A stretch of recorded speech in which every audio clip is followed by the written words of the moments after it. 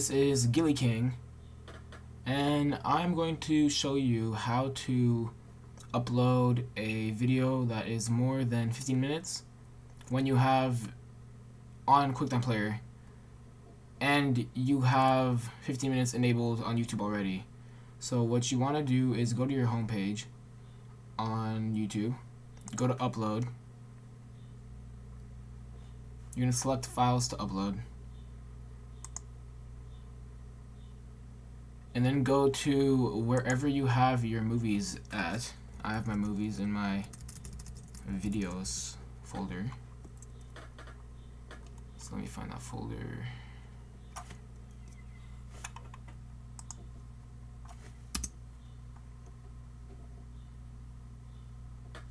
Mac's lagging, sorry.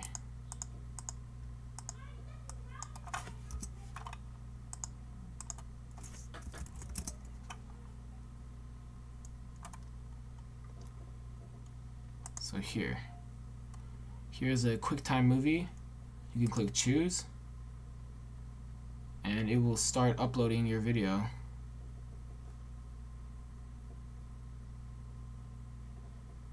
So there you go. It's that easy. But of course you have to have uh, the YouTube 50 minutes or longer videos enabled.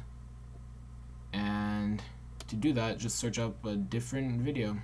It's very easy because I already have that enabled. I don't think I can show you guys how to do that right now. But that is how you upload a video via QuickTime on Mac that are longer than 50 minutes. Thank you for watching. Like, subscribe, comment for more videos like this, helpful videos, and I also upload gaming videos such as League and Minecraft. So thank you for watching. Hope this helped. Adios.